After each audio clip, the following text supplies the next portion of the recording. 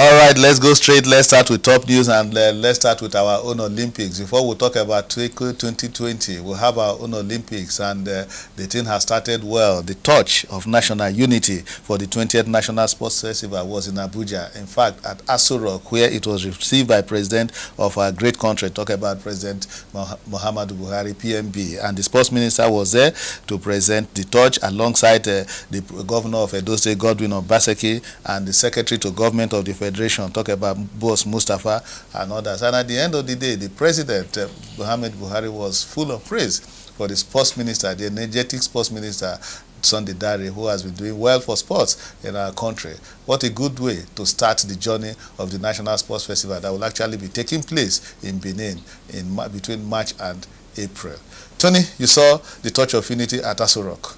Yeah, George, it was uh, beautiful. It, it was a very good sight, you know, for us to behold you know, seeing the president himself being very, very active and indeed uh, with the governor and uh, also the sports minister, Sunday Dare. It was a very uh, good moment for everybody to know that indeed sports has really come back. And you know that uh, sports is a tool, George, that unites the country.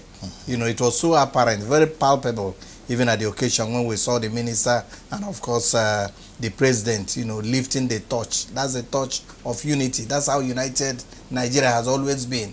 And if there is one instrument that holds us together, George, it is that sports and it is that touch of unity. You know, it was, I felt really very good. And uh, indeed, remarkable also was the fact that the president himself recognizes that, yes, he has appointed a sports minister, a sports minister who knows, a sports minister who listens, a sports minister who has been doing well, and of course, according uh, athletes, you know, their respect, because according to him, the welfare of the athletes, you know, remains the best thing, because without the athletes, there will be no sports. Exactly. So we say kudos to the Minister of Sports. That uh, the touch of national unity has started very well from Aso Rock, and we hope to have a wonderful sports festival in Edo State. And the facilities are ready. Fantastic uh, uh, facilities we have at the Samuel Ogbemudia Stadium. It has been remodeled by Edo State government, so everything is moving according to plan. Talk about the National Sports Festival. So from our own Olympics, let's tell you that in basketball, the, the have already landed in Serbia. The Nigerian contingent on the home front have left, uh, led by the Vice President of Nigerian Basketball Federation, Babs Oguadis, and uh, the girls, they are set to do the country proud. But it's a tough one, taking on uh, countries like USA, Mozambique, and uh, the whole Serbia will not be an easy one in any way. But I remember just two weeks ago, Tony said, go and mark my words, that these girls will fire on all cylinders, and at the end of the day, they will land in Tokyo just like uh, the Tigers landed in Tokyo already. So we wish them the very best of luck. But before they left the shores of our country, like we told you on Friday, we caught up with them at the airport. Trust Sportsville crew, we're always there to get you all the exclusive interviews. We have a very short uh, window of camping in Serbia. Now, since most of them are in Europe, we reckon it's uh, faster and cheaper for them to nip across uh, to Europe we have a camp for about three, four, about four or five days in uh, Serbia before the game starts on the 6th of February. This is not a tea party. Uh, this is the Olympic qualifiers. So, so the very, very best of the uh, best uh, come out to play. Um, we're in the group, as you're aware, with uh, uh, the US, Serbia, Mozambique, and Nigeria. So, um, we hope to pick a ticket to qualify and um, we're prepared to do that and we hope to qualify uh, from there for, uh, at, at the next Olympics.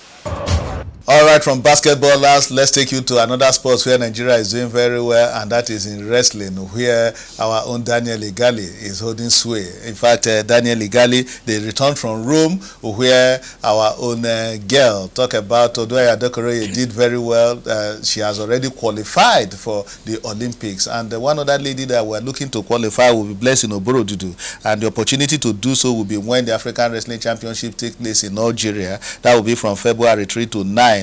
And uh, Nigeria is sending a team of 15 athletes to that one and uh, the target of Nigerian uh, Wrestling Federation is to ensure that other Nigerian wrestlers, at least two or three more, join Adekuoroye in qualifying for Tokyo 2020. Then from wrestling now, let's take you to handball, where support is equally coming. The governor of uh, Sokoto State, Aminu Tambuwal, hosted uh, officials of the Handball Federation of Nigeria ahead of the national championship under 12 and 15 male and female championship that will be taking place in Sokoto.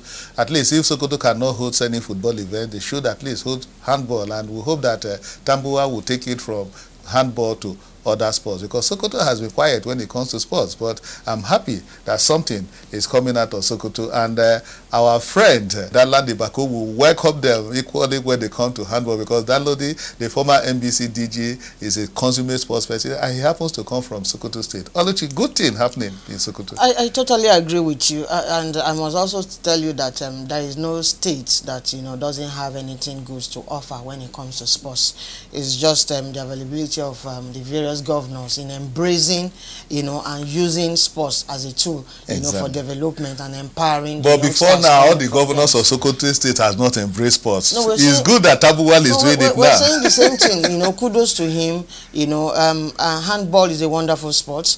Handball, you know, talking about um, under 15 and at this stage, this were, were, were this was a sport that battered um, somebody like um, Dr. Tony Aluko. You know, I, I listened to her story and um, out of nothing today, uh, she's a PhD holder just through sports, you know, got scholarship, played and represented this country. So I believe, you know, that um, it's a good one coming from the states, uh, grassroots level, you know, uh, locating these champions uh, from a very tender age. And at the end of the day, you know, they will stay longer, you know, playing uh, um, handball and also representing the country.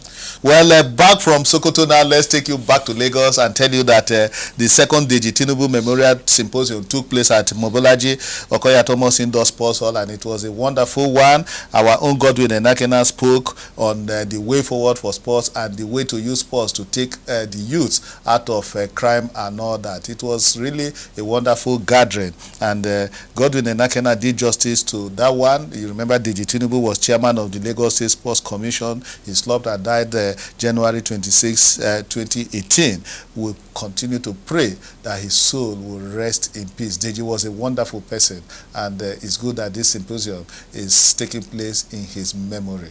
Let's hear Godwin Enakhena speak. Our time flies just like yesterday. Um, I hate to talk about DT in the past. You know, I, I believe um, he lives, as it were, someone who gave his all to humanity, someone who was um, approachable, reachable by everybody. Uh, I wish Nigeria can uh, have people like him. Um, what can we say? May God continue to rest his soul. Nigeria misses this young man. Sports in Nigeria misses. It's not just Lagos State, it goes beyond Lagos State. It was a perfect gentleman, a description of a quintessential gentleman. Yes, that was Godwin Enakhena. Tony, Deji Memorial uh, Lecture. Yeah, George, um, I think uh, that Deji Tinubu, you know, wherever he is, he will be very, very proud of uh, his sporting family, you know, because they have shown so much su support, you know, since he left us. And uh, indeed, like you said, Deji was a very wonderful person, you know, who touched almost lives, you know. He was always there. He was a consummate sports person. Even though, if you listen to his story, he was not to be in sports. But at least that has always been his passion. And he showed it throughout his years. And uh, I think all we need to do is just to continue to pray that his soul continue to rest in perfect peace. But then I'm indeed very, very, you know, grateful, very appreciative of what his friends have done since he left us. And I think they are leaving a legacy that should continue so that at least uh, the name of Deji Tinubu will be, you know, somehow, you know, immortalized in the minds of so many people, knowing that a man came. It's not how long he lived, mm -hmm. but it's how well he lived. Yeah. Well, thank God that uh, did not uh, die in vain. He contributed positively to sports development in Lagos State, and that is being remembered. Good memorial lecture, the second edition, and we hope that it will continue in that state in the years to come. Yes, that's been top news. Let's take a break now. When we come back, we'll talk about Gernot and his contract. I hope you are enjoying Sportsville.